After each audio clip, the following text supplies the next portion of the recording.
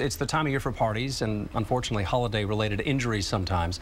With us now, Sheila Dolbow, Trauma Nurse Coordinator, St. David's Round Rock Medical Center. So glad you could uh, spend a little time with us this noon hour. Thank you for having me. Uh, first question, to make things timely, are you getting busier? Very much so. Really? There's a lot of people out traveling. Uh, people are putting up Christmas decorations, mm -hmm. so a lot of things are happening right now. Where do we start with this? You're right about the Christmas decorations, but a lot of people are in their kitchens and will be over the next couple of days, and maybe they're thinking about family or they're distracted by family that's in town from somewhere else and you know the turkey falls on the kitchen floor any number of things. What have you seen come into the ER in, during this time of year we always see a greater increase in foodborne illness mm -hmm. and a lot of that has to do with preparation and the handling of foods mm. and people just doing things improperly so things that they need to remember is that you need to wash your hands with warm soapy water mm -hmm. after you've handled things like your uncooked meats sounds simple and everything it is it is but it's those little things that people tend to forget um, you also need to wash your countertops off or any surfaces that you use to prepare those mm. foods um, before you go start preparing foods that will be uncooked and consumed. Mm. Um, so that's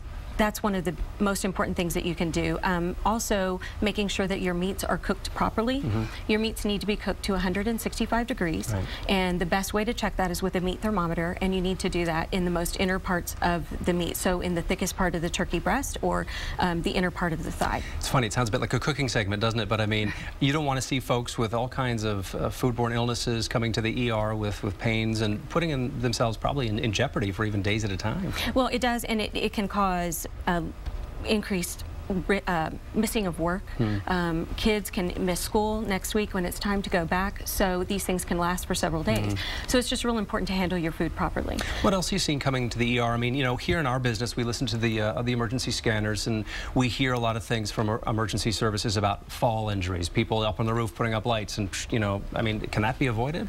It can be avoided um, when you're putting up holiday decorations, because this is the time of year that people mm -hmm. start hanging Christmas lights outside right. their home. So they're up on the roof or they're on ladders um, and things like that, or they're going up into their attic to just get their decorations down. Right. So people need to just be aware of, if you're up in your attic, make sure of where you're stepping that you're mm. on good surface so That's that true. you don't fall through. You know, I always tell friends and, and my wife, frankly, slow down 10% on this, you know, and it's going to maybe save an injury and a little bit of um, going through life where you're not thinking as, clear, as clearly as you right. might you know. Uh, let's talk quickly about uh, little kids too.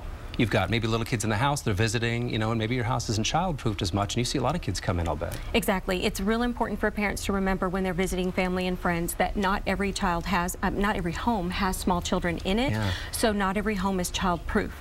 So when they go to these homes, they need to they need to be aware of potential dangers to their young children mm -hmm. and mm-hmm. keep an eye on them. Um, when you're decorating in your own home and you have small children, you need to be aware of decorations that are within the reach of a small child and even a small small pet that may like to chew on things oh, yeah. because little pieces can break off and they can present a choking hazard to these small children and small pets. So mm. those things need to be considered.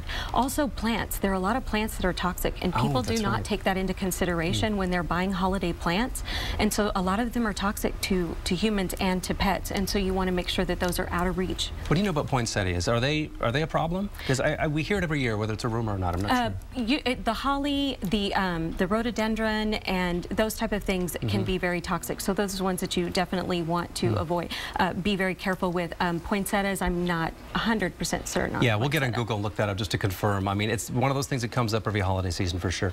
Sheila Dolbow, your trauma nurse coordinator at uh, St. David's Round Rock Medical Center.